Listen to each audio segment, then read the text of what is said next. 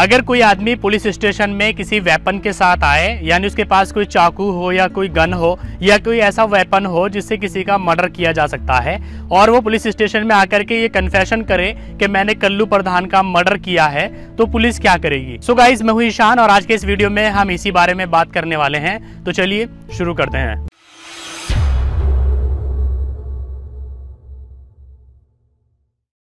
अगर कोई भी आदमी पुलिस स्टेशन में किसी वेपन के साथ या बिना वेपन के आकर के किसी क्राइम का कन्फेशन करता है कि मैंने ये मर्डर किया है या मैंने चोरी की है, या इस तरह से किसी भी क्राइम का वो कन्फेशन करता है तो पुलिस क्या करेगी? देखिए, यहाँ पर दो चीज़ें हैं। पहली तो हमारी सोच है, हम आम लोग क्या सोचते हैं? हम तो यही सोचेंगे कि वो आदमी आया है, उसने खुद कन्फेशन किया है एविडेंस भी दे रहा है तो उसको कोर्ट में ले जा करके सज़ा दे देनी चाहिए। लेकिन हमारा लॉ कहता है कि चाहे सौ क्रिमिनल्स बच जाएँ, लेकिन एक बेगुनाह को सजा नहीं मिलनी चाहिए। इसलिए हमारा लॉ कहता है कि अगर वो कन्फेशन कर रहा है एविडेंसेस दे रहा है ठीक है, लेकिन पुलिस अपनी इन्वेस्टिगेशन ऐसे ही करेगी, जैसे कि अगर इस क्राइम के बारे में उसे किसी और से ये इन्फॉर्मेशन मिलती। तो पुलिस सबसे पहले उस वेपन को जब्त करेगी एज एन एविडेंस जो उसके पास है, और उसके बाद उस आदमी को ले जाया जाएगा मौका वारदात पर, जहाँ पर वो वारदात हुई है, और पुलिस वहाँ जाकर के बिल्कुल वैसे ही इन्वेस्टिगेशन करेगी जैसे उसको करनी चाहिए। ऐसा नहीं करेगी कि रिज़ल्ट आ गया है, आप उसकी इन्वेस्टिगेशन करें, बल्कि पहले इन्वेस्टिगेशन करेगी और उसके बाद ही किसी नतीजे पर पहुँचा जाएगा। पुलिस मौका वारदात पर जाएगी, वहाँ पर विटनेसेस जमा करेंगी, लोगों से पूछताछ करेगी, जो एविडेंसेस हैं उनको जमा करेगी। उसने कल्लू प्रधान का मर्डर क्यों किया है, इसका रीज़न देखेगी।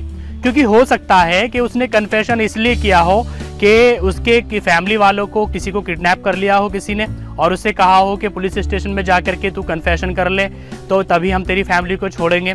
या हो सकता है वो गरीब आदमी हो और उसको पैसे की ज़रूरत हो और किसी आदमी ने कल्लू प्रधान का मर्डर करके उसको पैसे दिए हो और ये कहा हो कि तू जाकर के पुलिस स्टेशन में कन्फेशन कर ले और मेरा जो क्राइम है अपने सर पर ले ले और मैं तुझे इतने पैसे दे दूँगा।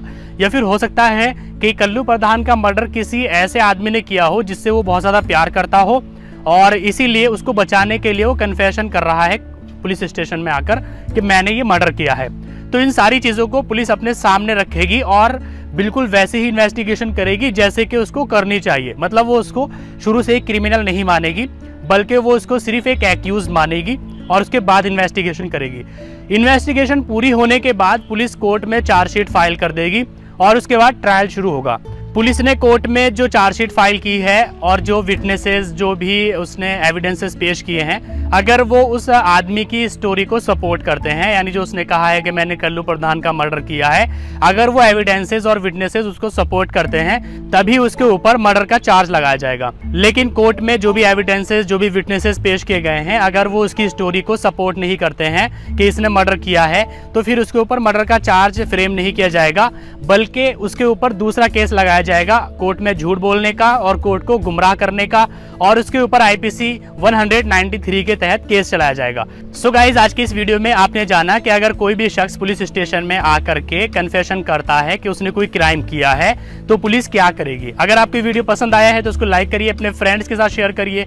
और अगर आपके मन में कोई क्वेश्चन है तो आप नीचे कमेंट करके हमें बता सकते हैं। और अगर आपको इस टाइप की वीडियोस अच्छी लगती हैं, जिसमें क्वेश्चन और इसका आंसर होता है तो आप हमें बता सकते हैं। इस तरह की वीडियोस भी हम ज़्यादा से ज़्यादा लाने की कोशिश करेंगे।